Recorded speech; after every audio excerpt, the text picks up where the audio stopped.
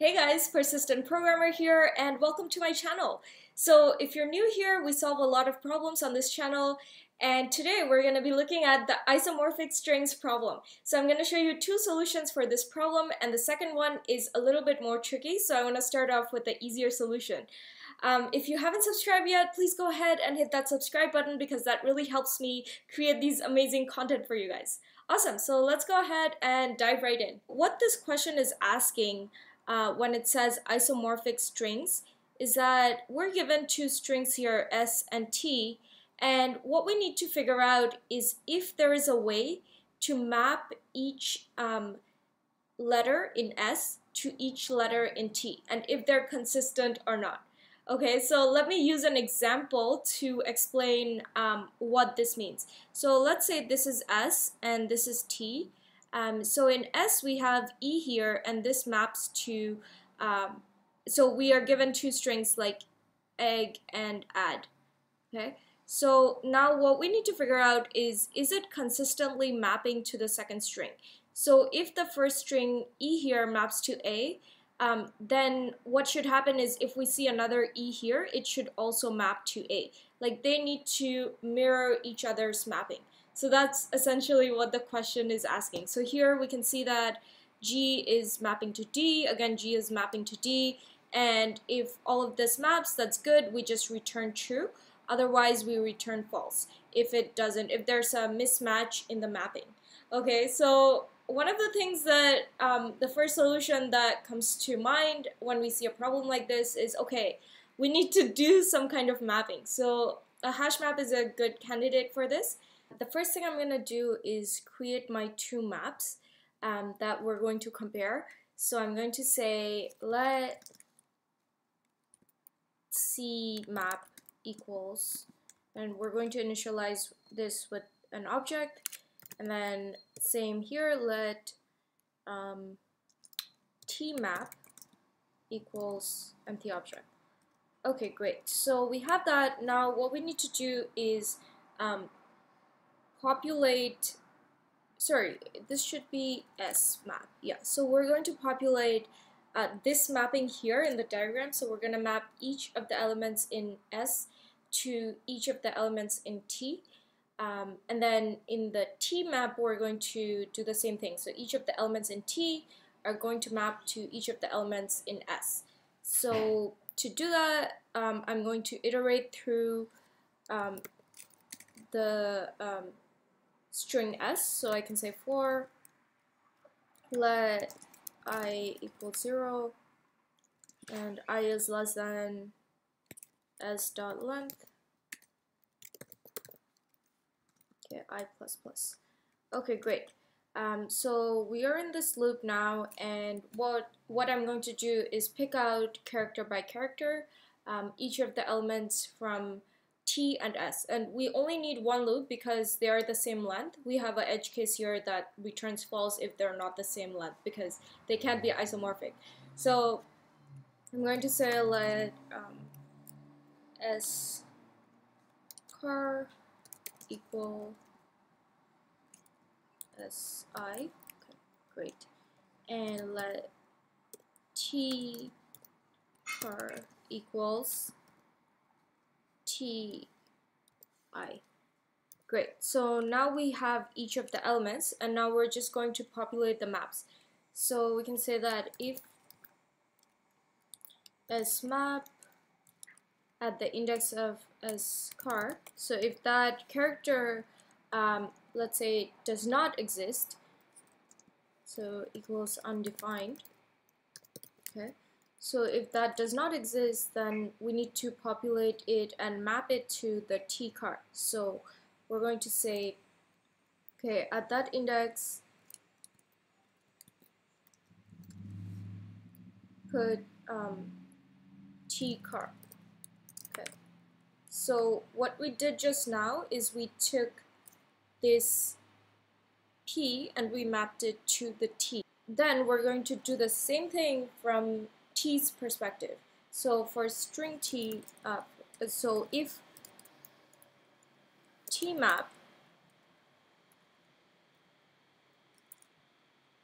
I have a typo here. If t map um, at the index of t char is equal to undefined, okay, then what we need to do is uh, we will map that index to the S chart. Okay? And what I did right now is I mapped this T to this P. Okay? Now the last step we need to do is compare if the P um, from the S map um, maps to or is equal to the same um, value in the T map. So we're just we're just checking. We're going to check if the two blue boxes here in the diagram are mapping. S map S car right is not equal to T car. Okay? So if at that index it's not the same as what is in the T car, or the other way, um, if T map T car, what is at map to that index is not the S car, right? So basically, if there's any mismatch in the mapping, then we are going to return false. Otherwise, return true. Alright, so I'm going to run this. Okay, accepted, awesome, and I'm going to submit. Yay, awesome, it works. Now we're at the second part of the solutioning and this is a little more tricky so don't worry if you didn't understand it first so hopefully I can shed some light and clarify this solution. Uh, so the basic idea here is that we are going to create um, two arrays and what this is going to help us do is um, use the indexing already available from the ASCII characters um, to apply to this problem.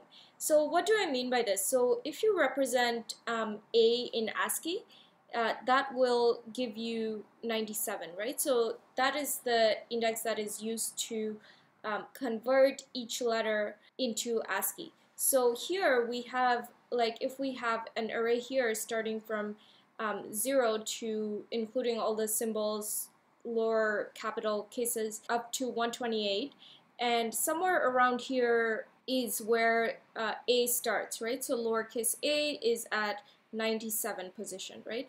So what we can do is use this to our advantage and use this indexing to tell us, okay, can we match the counts of the character mappings? So that's essentially what we're doing, big picture. Now let's dive into an example and see case by case how this would work. Um, okay, so I'm going to take the same example as um, the first example in the problem, which is where S is egg and um, T is add, okay? So what we can do is if we were to iterate over this, we can see that, okay, well, E um, maps to 101 here. So that's the index for E. So somewhere over here um, where we have 101 is going to be this E. And if we initialize this list um, with all zeros, so what we can do is we can just increment the count here from 0 to 1. So that's now a 1. Um, and then we will also go to um, the T and at the T at position 97, which you can see here, the count will also be 1. So we incremented these two, right? And you can see that currently E is mapped to A. That's why their both counts are 1 and 1. And this is what we're comparing, right? So we're comparing the counts of each of the um, elements as they occur. So we're doing one by one. Okay, next item is G. So G is, uh, I think that is 103. Yeah, okay. Yeah, E, F, G. Okay, so yeah, so that's correct. Uh, so at 103 now, okay, so we're at 103, um, and what we're going to do is we will take this current index, which is currently 1, so we're at position 1 now, and we're going to map this index. Um, we're going to add 1 to this count. So we'll take the, so what we're saying is, okay, at index 1, this is the mapping we have. So we're going to add 1 here. And this is going to give us at 103 position, we will have 2. And then at the second one, D, which is at position 100, okay, and our index is still 2 because we are going one by one, right? So that will also be 2 and these two are equal so we're good.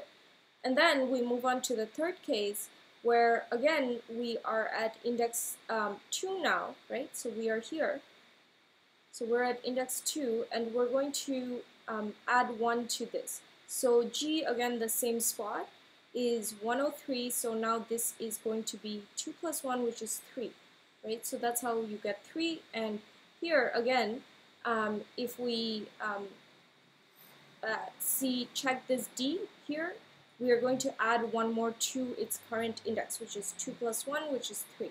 Okay, great. So now everything is mapped up and all the counts are equal. Okay, now let's take a case where the counts would not be equal. Um, so if I added another S here um, at this index 3, right, and if I added a D here, right? So D is already mapped to G, right? So um, this breaks the uh, isomorphic quality of this string. So this is a test case that should fail and we should return false for this. So when we have this D here, we're going to go again and um, check this uh, position here. So at position 100, um, this is 3, right? So that's the current position. Okay, so we have position 3.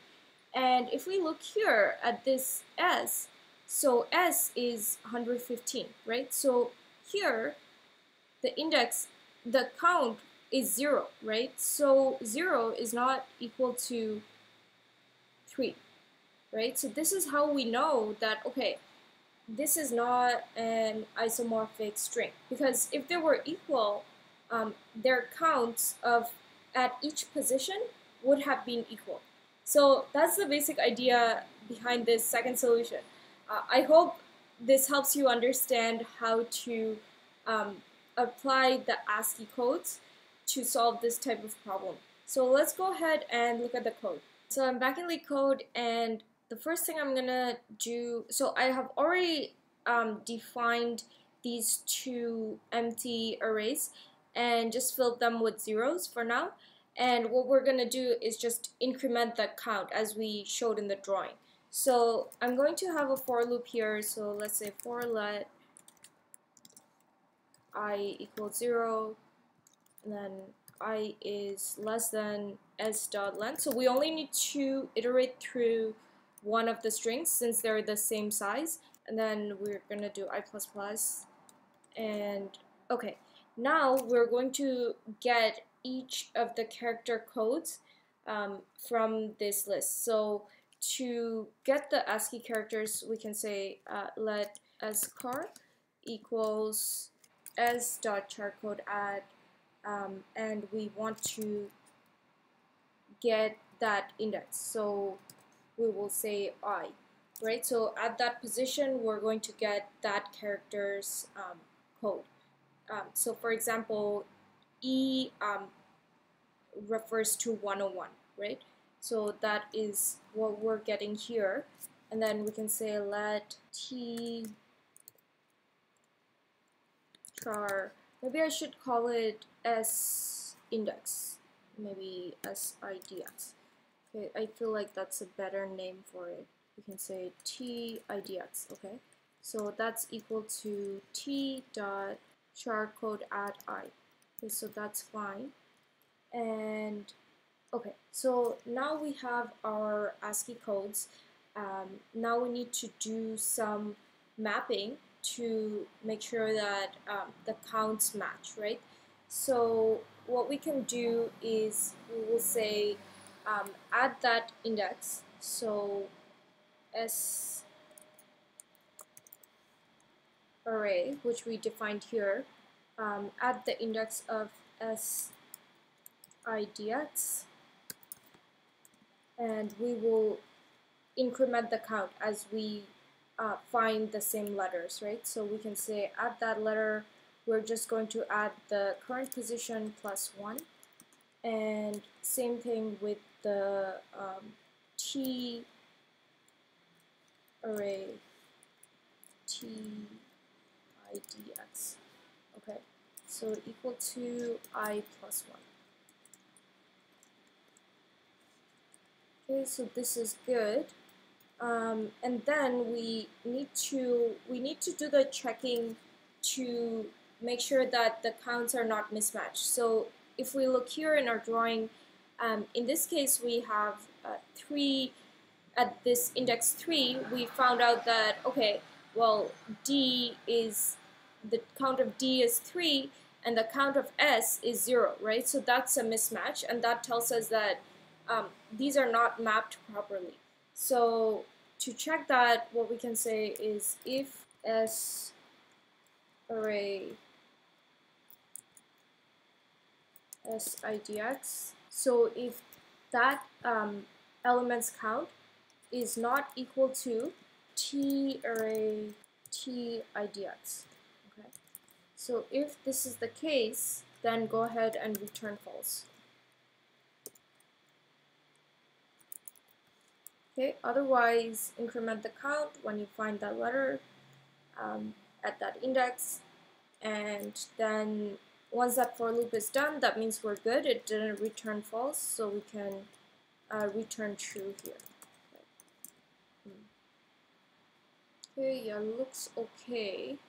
Okay I'm gonna go ahead and run the code. Okay so that's fine. And submit Yay, awesome, it works. Okay, okay, good.